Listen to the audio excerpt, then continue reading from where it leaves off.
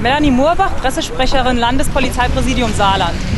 Also wir befinden uns derzeit hier in Sulzbach und in Zusammenhang mit dem Tötungsdelikt in Rheinland-Pfalz konnten wir in Zusammenarbeit mit den Kollegen aus Rheinland-Pfalz zwei Wohnobjekte und ein Fahrzeug im Bereich der, Sulz, äh, im Bereich der Bahnhofstraße in Sulzbach lokalisieren.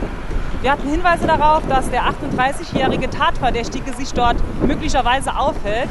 Und das hat sich dann auch bestätigt. Der 38-jährige Tatverdächtige konnte von Spezialeinheiten Rheinland-Pfalz und Saarland widerstandslos im Bereich des Fahrzeuges festgenommen werden.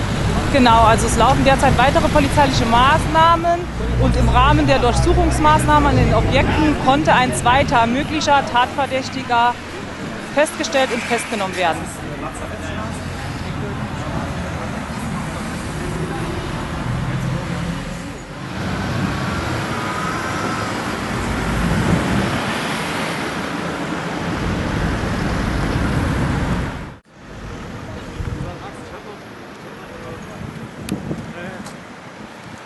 Simon, wo bist du?